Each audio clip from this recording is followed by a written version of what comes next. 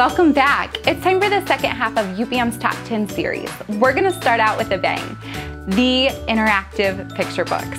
Usborne Books and More does these so well. You've probably heard of our Shine a Light series. You just shine a light behind the pictures and a secret is revealed on every single page. It's so much fun. These are nonfiction books with tons of great information, but they keep kids' interest by having these hidden pictures appear. Our Big Book collection is amazing. I specifically love Big Book of Colors with my preschooler. This is a great book because it starts out with a color wheel. So already they get to interact and engage with a page. On top of being able to do some Bloom's taxonomy here of categorization, we can look at the back and use this transparent sheet to see what it does when colors are mixed. Time to Brush is in the similar series to All Better. All Better is the number one seller with Usborne Books and More. That one comes with five reusable Band-Aids. This one comes with five reusable toothbrushes. Don't forget to check out um, Time to, nope, Little Bear Needs Glasses and let me show you how this works. These books are truly, or these stickers are truly reusable. They're thick plastic. You rinse them with cold water if they get dirty, and you can use them over and over again. There's a little rhyme in each book to help a child remember and get to chant it along as you read the story. Of course, the dog has a bone. This is Frog, this is Alan, this is Crab are truly interactive books as you are engaging with the narrator the whole way through. This one, this page has you jump by shaking the book up and down. Can you help Frog jump? Oh dear. Quick, let's follow him. Use your fingers to run up the page. The whole time you are interacting with these characters and their narrator and their super fun books. Lastly, have you heard of Nibbles? Emma Yarlett is an author from the UK and she is incredibly creative. She recently came out with a couple new books. One's called Dragon Post and it has five letters in it and this one's called Beast Feast. And Beast Feast is an adorable picture book, great for nighttime reading or playtime reading. It comes with these letters that fold out and fold down as Beast invites his friends to a Beast Feast and you'll have to see if they end up eating dinner or not. Number seven are our chapter books. And honestly, my best advice is to ask your consultant and give your kids kiddos ages and interests to her. Um, and she will help find the perfect chapter books for your budding readers. We have great books like Billie B and Hey Jack. The author of these books actually had a dyslexic son and um, she wrote these books to have no overlapping words, no sentences that carry on to the next page, and they are really simplified readers for new um, and, intro readers. Billie also has Billie B Mysteries, which are some of my favorite novels. Those are probably recommended for ages seven or eight and up. These are a new series that we have. This is called The Extraordinary Life. We have Anne Frank, Neil Armstrong, um, Katherine Johnson, Rosa Parks. These are incredible stories and they have some graphics in there, but they're really great reads um, for ages six and up. Of course, independent or with a parent, you decide based on your child's reading level.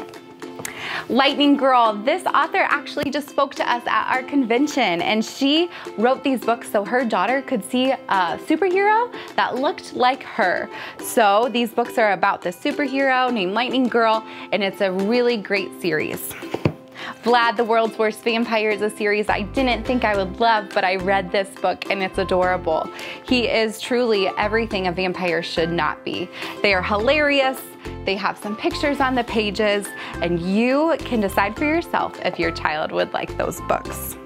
Hotel Flamingo is the last series I'm gonna show you right now. These books are about this little girl who takes over a hotel and her um, aunt left it to her and it's dilapidated. She has to do a lot of work to get it back up and running and um, starting to help other people. They're funny stories, but they're also a really good learning stories with lots of different life events going on. Number eight is baby and toddler books. We have so many great books like these Tummy Time books with a mirror. We have some other fold out books. These have um, flaps in them to get those little hands moving. Another book that I love in the baby and toddler series are these books with wheels. So much fun for your little one and they have a real story inside so they're perfect for nap times and bedtimes. Don't Tickle the Dinosaur Bear. Um, we have a couple of these books. They are so fun because what toddler doesn't love to do what they're told not to do? They make funny sounds and at the, fun, at the end, they have a dance party. We have a couple other music books with these little silver discs. You press them once and the music starts and you press them again and the music stops. You won't want to stop it though. It's so, so calming. We have calming music book and we also have quiet time music book, which are regulars before nap time at my house. Some other baby and toddler books that I love is this Are You There Little Puppy series. We have lots of Are You There Little books and they have these big board book flaps and you are constantly playing hide and seek looking for the animal inside. Those are just precious books. And as your toddler grows up, you might want to start reading our phonics readers to them. This is a great way to start getting some interest, introducing some new sounds, some alphabet, and they already teach comprehension by having a problem and a solution inside of these stories.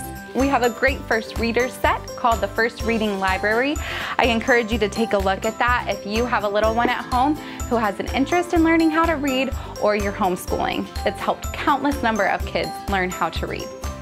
Number nine are our completely fun books. We have so many engaging books and activities um, that your child can enjoy in the summer, but also in those cold winter months indoors. This is a bugs matching game. We have a few different matching games, but they come with a book about the bugs or the animal that you choose, as well as all these little cards and a couple different games that you can play with those boards. Magic painting are such a hit. These are done with water. You just simply pull out the brush dip it in water. They can be done from toddlers on up to adults and they do look different depending on the age range that does it. So they're super, super fun and really beautiful works of art that your child will be proud of.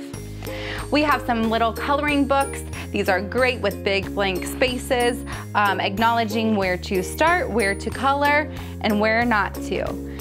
We also have these fingerprint activities as well as stamps. Don't miss these books. They're so, so much fun to use your fingers, follow, learn to follow instructions, and get some art done each day. Number 10 are our reference books. And Usborne Books and More does reference books really, really well. Take a look. This is our children's encyclopedia. It even has some QR links. These quick links take the guesswork out of research. They are linked to approved and safe websites that provide lots of fun and interesting information for your child. Another book that I love right now are these Turn and Learn books. This one's about our world. These are for older children, but they are have a super fun element of that turning the, the wheel to learn a little more about animal adaptations, deserts, rainforests, Arctic, the polar, uh, the Arctic or polar animals, savanna, and more. We have another one of these on weather. We have books about architecture. This is a scribble book. It is time for them to learn some about architecture. It's incredible with all of the history that it teaches through activities and more. Understanding economics, we have some um, uh, managing your money books as well.